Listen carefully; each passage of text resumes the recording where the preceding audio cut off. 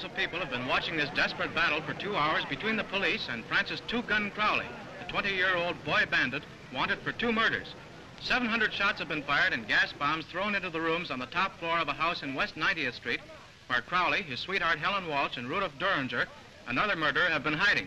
Commissioner Mulrooney is there with 150 police and detectives. Finally, the young killer, shot five times in the legs and arms, is brought out of the house to an ambulance to be rushed to Bellevue Hospital.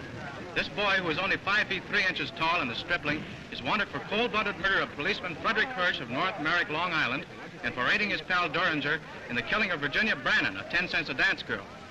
And now comes the most shocking feature of this real-life drama, the capture of the girl in the case, just past 16.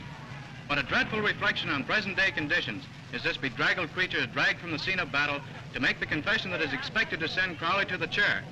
It was this child who sat in the car as Crowley did his killing and who was at his side in other desperate ventures. It's old, but it's true. Crime does not pay. The road of the criminal leads only to destruction.